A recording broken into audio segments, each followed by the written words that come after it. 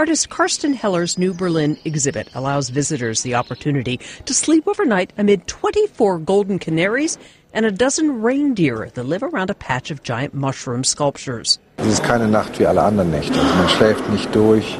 Die Rentiere, die röhren nachts wie, das hört sich an wie Löwen manchmal. Und ähm, es gibt viele Geräusche und auch dieses ja, so exponiert liegen wie auf so einem ähm, Präsentierteller macht sich natürlich bemerkbar. Aber es war eine sehr interessante Erfahrung. The exhibition is called Soma and is built around the legend of a hallucinogenic drink purportedly used 5,000 years ago in Hindu religious ceremonies and believed to be the magical elixir of the gods.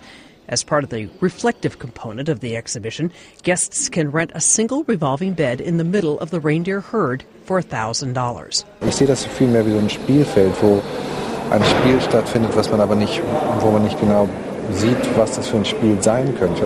Aber es sieht doch so aus, als gibt es hier ganz bestimmte Regeln, ähm, nach denen gespielt wird.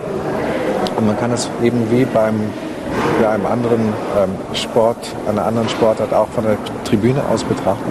Sieht es von hier oben, kann es von den Seiten aus betrachten und auch von hinten, wo dann ja nochmal diese Spiegelstreifen sind, die man von hinten betreten kann, wo man das Ganze nochmal ähm, durch den Spiegel hindurchsehen kann, wenn sich die Tiere eben im Spiegel betrachten.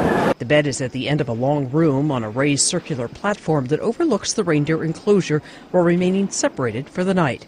Aber dieser Moment des Aufwachens und dann ähm, sich mit Kunst auseinanderzusetzen, ist für mich der ideale Moment. Das ist mein persönlicher Vorschlag, dass man ähm, in diesem Zustand, wo man vielleicht noch nicht ganz wach ist, vielleicht die Dinge noch klarer betrachten kann. So, mir geht es auch so. The reindeer have a busy schedule ahead of them. All available dates through the end of the exhibit in February, six nights a week, were booked up.